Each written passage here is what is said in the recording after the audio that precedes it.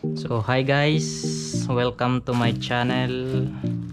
So mag-unbox tayo ngayon ng UDRC UDI 005 Arrow. Yon.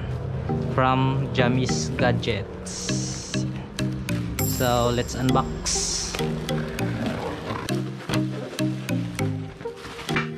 Dito lang pala. Yan. Nakikita ko na. So ito yung nasa loob.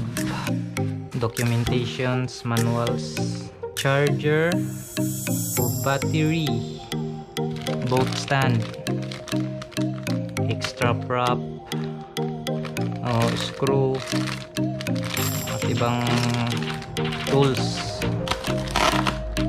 So adapter, voltage tester tayo.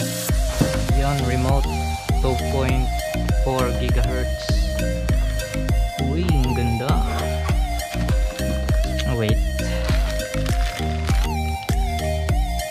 So guys, ito na yung boat. Yun, ito yung actual boat.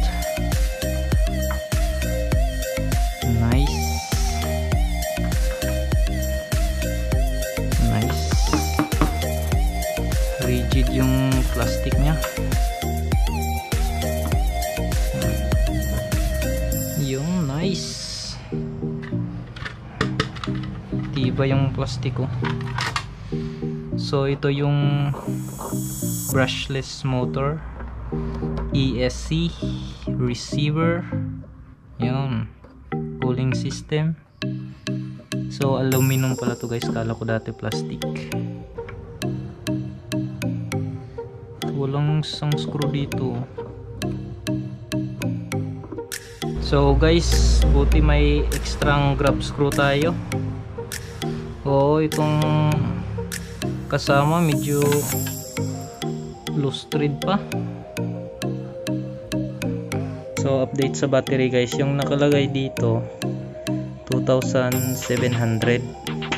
Tsaka to yung 2200 na Tiger battery ko.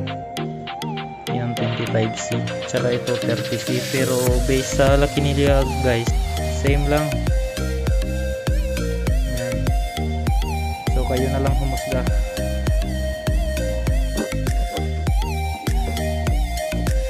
So ito.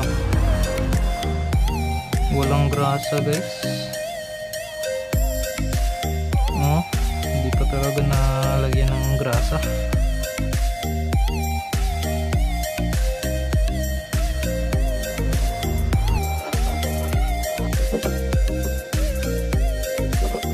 Guwapo.